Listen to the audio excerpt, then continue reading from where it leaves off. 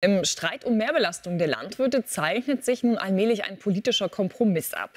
Der Vorsitzende des Deutschen Bauernverbandes, der zeigte sich in der Welt am Sonntag nämlich offen für eine Entlastung an anderer Stelle. Das würde der Bundesregierung dann auch eine gesichtswahrende Lösung ermöglichen, die ja partout die Streichung der Agrardieselsubvention nicht zurücknehmen will.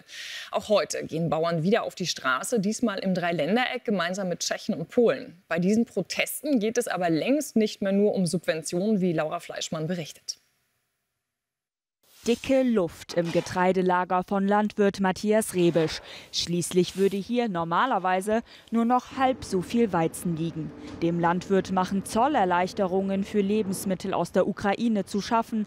Durch sie wurden metaphorisch Tür und Tor für ukrainisches Getreide geöffnet. Und jetzt will die EU das auch noch um ein Jahr verlängern. Die Produktionskosten sind wesentlich niedriger als bei uns. Die sozialen Standards die Standards, was Pflanzenschutz und so weiter angeht, sind komplett anders. Dort wird noch gespritzt mit Mitteln, die wir seit 20 Jahren nicht mehr einsetzen dürfen und zu Recht im Großteil. Und zum Teil geht der Weizen hier für 90 Euro die Tonne weg und wir bekommen im Moment, oder wir würden 180 kriegen, bräuchten eigentlich noch über 200. Also wir können mit den Preisen nicht konkurrieren. Mit dem ukrainischen Billigweizen kann der Bauer aus der Nähe von Bautzen-Sachsen nicht mithalten. In seiner Kasse fehlt sowieso schon Geld von den gestrichenen Agrardieselsubventionen. Auf die ist Bernhard Krüsken vom Deutschen Bauernverband mittlerweile sogar bereit zu verzichten. Entlastungen, Hauptsache irgendwelche, fordert er in der Welt am Sonntag. Wir sind kompromissbereit, wenn es im Gegenzug zu Mehrbelastungen beim Kraftstoff an anderer Stelle zu realen Entlastungen kommt. Wir wollen unseren Mitgliedern nicht vorspielen, dass wer am lautesten schreit, am besten Gehör findet.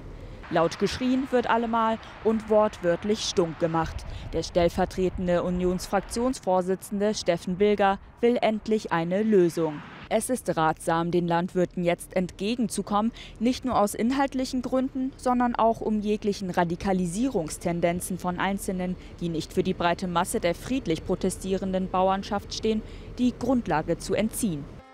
In Polen spitzen sich die Proteste zu.